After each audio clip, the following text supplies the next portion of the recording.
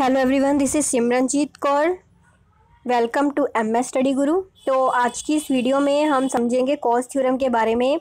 Coase theorem का concept क्या है?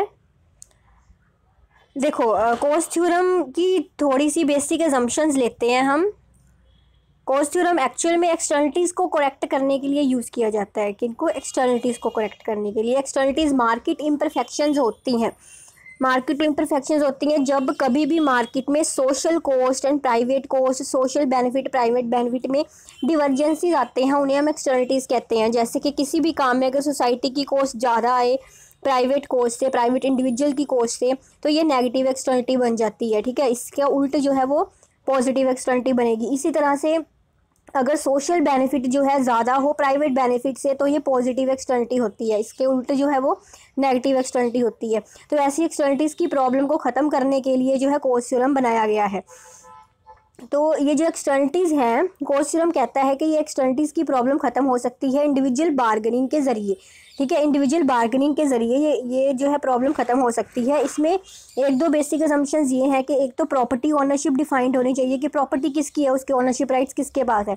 स्मॉल नंबर ऑफ़ पीपल पे ये थ्योरम जो है वो वैलिड है एंड लास्ट है bargaining cost negligible bargaining cost negligible मतलब कि दो पार्टीज़ अगर हैं उन वो दोनों पार्टीज़ में आपस में निगोडिएशन करने की आ, सलाह करने की बैठ के बात करने की, वो जो कॉस्ट है निगोटिएशन करने की आपस में, वो नेग्लिजिबल होनी चाहिए, कम होनी चाहिए, ठीक है? या तो हो ही ना, या तो कम होनी चाहिए। तो अब समझते हैं कि एग्जांपल के थ्रू के जो कॉस्ट थ्योरम है, वो क्या कहता है? इसे एक एग्जांपल के थ्रू हम क्लियर करते हैं।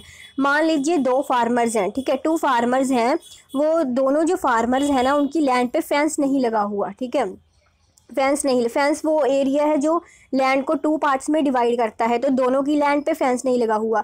एक जो फार्मर है, वो कैटल रेजर फार्मर है। कौन है? कैटल रेजर फार्मर है। तो दूसरा जो फार्मर है ना, वो वीट ग्रो करता है वीट ग्रोअर फार्मर है। ठीक है? दोनों के पास अपनी अपनी लैंड है, लेकिन उनकी लैंड पे फेंस नहीं है। तो अब मान लीजिए कि जो कैटल रेजर फार्मर है, उसकी काउस जाके वीट वीट ग्रोअर के जो की लैंड है, वो उसकी वीट को जो है डिस्ट्रॉय कर देती हैं, ठीक है? तो वो कैटल काउस जो है कैटल रेजर की लैंड से जाके वीट ग्रोअर की लैंड पे जाती हैं और उसकी जो लैंड है, उसकी जो वीट है, उसे डिस्ट्रॉय कर देती हैं मतलब खा लेती हैं, ठीक है?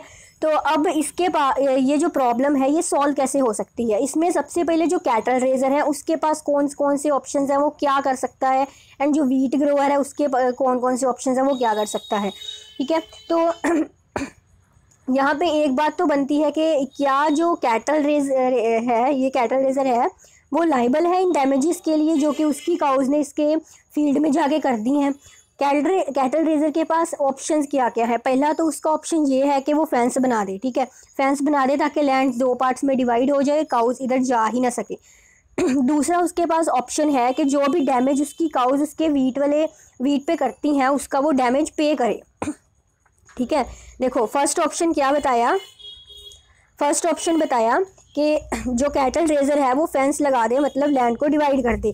सेकंड उसके पास ऑप्शन है कि वो डैमेज पे करे। उसकी जो काउज हैं, वो जाके वीट वाले फार्मर की, जो भी क्रॉप्स डिस्ट्रॉय करती हैं, उसका डैमेज वो पे करे खुद से, ठीक है? थर्ड उसका ऑप्शन है कि वो दोनों की कॉस्ट कंसीडर करे, अपनी भी भी, अपनी कॉस्ट भी, क्या उसकी कितनी कॉस्ट लगेगी और जो वीट ग्रोअर फार्मर है, उसकी कॉस्ट भी कंसीडर करे तो उसके अकॉर्डिंगली कंक्लूजन ले कि किसकी कॉस्ट जो है कम पड़ रही है दोनों में से। उसकी कॉस्ट कम पड़ेगी या फिर वीट फार्मर इस पे से कोई स्टेप लेता है तो उसकी कॉस्ट कम पड़ेगी मतलब दोनों की आपसी सलाह मशवरा लेके वो एक कंक्लूजन पर पहुँचे, ठीक है? तो ये तीन ऑप्शंस तो आ गए हमारे कैटल रेजर फार्मर के लिए। अब जो वीट फार्मर है, वो क्या इसमें करें? तो जो वीट फार्मर है, उसके पास ऐसा तो कोई अभी राइट नहीं है ना कि वो कैटल रेजर को जाके कहे कि तू अपनी काउस को यहाँ से उठा ले या काउस को कहीं और शिफ्ट कर दे। मतलब ऐसा तो उसके पास कोई राइट नहीं, वो ऐसा तो कुछ नहीं अभी कर सकता ना। काउस है, ठीक है, अगर कैटल रेजर फार्मर है तो उसकी काउज को तो वही रहना है ना, इसमें तो वो कुछ नहीं कर सकता काउज का। तो उसके पास ऑप्शन क्या है? पहला ऑप्शन उसके पास भी यही है कि वो फेंस लगा दे, ठीक है? फेंस लगा दे लैंड पे लैंड को डिवाइड कर दे। दूसरा उसके पास ऑप्शन है कि वो एक्सेप्ट कर ले ओकेशनली डैमेज एक्सेप्ट कर ले ओकेशनली डैमेज के कभी कभी ये वो काउज आएँगी, रोज़, रोज़ाना थोड़ा आगे उसके भी लैंड को डैमेज कर देंगी कभी कभी आएँगे तो वो उसे एक्सेप्ट कर ले, उतनी को कॉस्ट वो बियर कर ले, ठीक है? तो अब दोनों पार्टीज़ में अगर वो आपस में निगोटिएशन करती हैं, जैसा कि हमने थ्योरम की स्टार्टिंग में पढ़ा कि यहाँ पे निगोटिएशन कॉस्ट जो है वो कोई नहीं है। निगोटिएशन कॉस्ट जो है वो कोई नहीं है। नो निगोटिएशन कॉस्ट मतलब वो आपस में बैठ के डिसीजंस ले सकते हैं कि उन्हें क्या करना है, क्या नहीं करना, क्या किस किस पार्टी के लिए क्या चीज़ है क्या नहीं सही। तो वो सलाह मशवरे से अपने एक कंक्लूजन पर पहुँचे, ठीक है? तो क्योंकि निगोटिएशन कॉस्ट कोई नहीं है, अब वो आपस में बैठे सलाह करें कि हमें क्या करना चाहिए तो इस अकॉर्डिंगली वो एक कंक्लूजन पर पहुँचे। तो सबसे बेनिफिट जो है कंक्लूजन यही निकलेगा कि दोनों में से किसी भी एक फार्मर को जो है वो फेंस बनाना पड़ेगा, ठीक है? तो फेंस किससे बनाना है, किसे नहीं बनाना, ये सब उनकी निगोटिएशन पे डिपेंड करता है, उनकी बार्गेनिंग पे डिपेंड करता है, दोनों पार्टीज़ की बार्गेनिंग पे। ठीक है? तो इसी तरह ये कोस्ट में बताया गया है कि अगर निगोटिएशन कॉस्ट नहीं है बार्गेनिंग कॉस्ट कोई नहीं है तो जो फर्म्स हैं, वो आप बैठ के सलाह मशवरे से कंक्लूजन पर पहुँच सकते हैं और एक्सटर्निटी की प्रॉब्लम जो है, उसे करेक्ट कर सकते हैं। ठीक है? तो ये जो है कोस्ट थ्योरम है। इसमें मेन चीज़ आपने जो लेके चलनी है, वो वही है, जो मैंने सबसे पहले आपको बताई थी कि इसमें निगोटिएशन कॉस्ट कोई नहीं है। स्मॉल नंबर ऑफ़ फॉर्म्स काम करते हैं।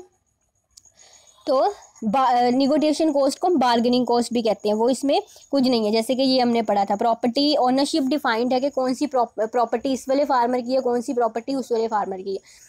तो इंडिविजुअल वो बार्गेनिंग करके निगोटिएशंस करके जो है एक्सटर्नलिटी की प्रॉब्लम का सोल्यूशन निकाल सकते हैं। तो ये था कोर्स थ्योरम ऐसी ही वीडियोस आगे देखने के लिए चैनल को सब्सक्राइब कर लीजिए। Thank you